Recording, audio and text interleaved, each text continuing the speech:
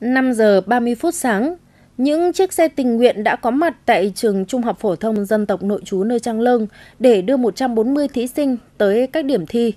Đây là chương trình chuyến xe tình nguyện do đoàn khối các cơ quan và doanh nghiệp tỉnh Đắk Lắk tổ chức nhằm đảm bảo an toàn thuận lợi cho các thí sinh người dân tộc thiểu số di chuyển từ trường nội trú đến địa điểm thi. Đoàn khối đã huy động 3 xe ô tô đưa đón các thí sinh trong những ngày diễn ra kỳ thi. Đúng 5 giờ 45 phút sáng và 12 giờ 15 phút chiều, 4 chuyến xe bắt đầu xuất phát từ trường nội trú đến hai điểm thi là trường Trung học phổ thông Lê Duẩn và trường Trung học phổ thông Trần Phú, thành phố Buôn Ma Thuột. Thì à, đoàn khối các cơ quan thì trong kỳ thi này có khoảng trên 500 các em học sinh tham gia kỳ thi Trung học phổ thông. Tuy nhiên trong đó có trên 300 em học sinh nội trú đang theo học ở trường phổ thông dân tộc nội trú nơi Trang Lơn và trường trung học phổ thông dân tộc nội trú Tây Nguyên. À, so với các à, em học sinh khác thì các em học sinh của trường dân tộc nội trú thì có những khó khăn trong vấn đề di chuyển và không có được người thân ở bên cạnh để đồng viên hỗ trợ. Chính vì vậy mà chuyến xe tình nguyện lần này cũng hy vọng là cũng đã giúp cho các em có được một kỳ thi an toàn hiệu quả và à, đảm bảo cho các em những yêu cầu trong công tác phòng chống dịch. Để việc di chuyển diễn ra an toàn thuận lợi, đoàn khối cũng đã thành lập đội tình nguyện viên thường xuyên theo dõi, đồng hành cùng các thí sinh trong mỗi chuyến xe. Đồng thời phối hợp với nhà trường, các lực lượng chức năng và tình nguyện viên tại các điểm thi hỗ trợ các thí sinh, luôn cổ vũ động viên tinh thần, tạo không khí thoải mái, vui vẻ, giúp các em giảm bớt căng thẳng để hoàn thành tốt bài thi.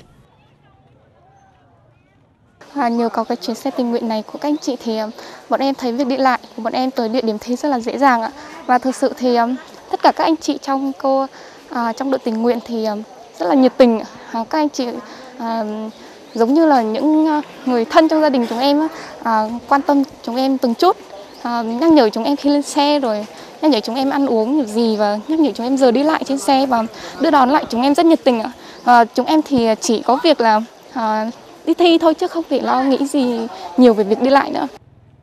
Với tinh thần tình nguyện và ý thức trách nhiệm đối với cộng đồng, chương trình tiếp sức mùa thi năm 2021 được Ban Thường vụ tỉnh đoàn Đắk Lắk tổ chức với hơn 1.000 tình nguyện viên là đoàn viên thanh niên đến từ 36 đội hình tình nguyện thuộc các huyện, thị, thành đoàn và các đoàn trực thuộc.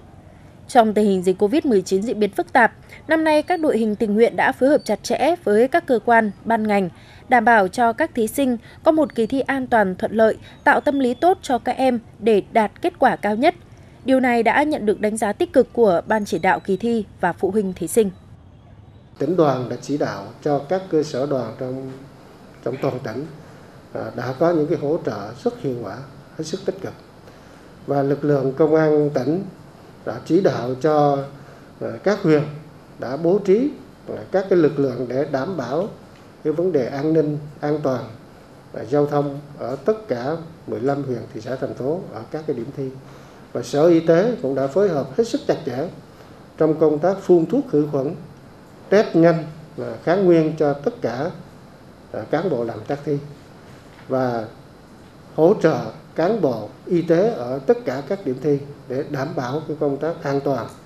à, về sức khỏe cho các thí sinh cũng như những người làm công tác thi. Hình ảnh những tình nguyện viên với chiếc áo xanh tình nguyện trong mỗi kỳ thi luôn để lại ấn tượng sâu sắc trong lòng thí sinh và phụ huynh, góp phần giảm áp lực, căng thẳng cho các thí sinh. Các đoàn viên thanh niên đang góp phần tô thắm, lan tỏa sự nhiệt huyết, tinh thần tình nguyện của tuổi trẻ tỉnh Đắk Lắk.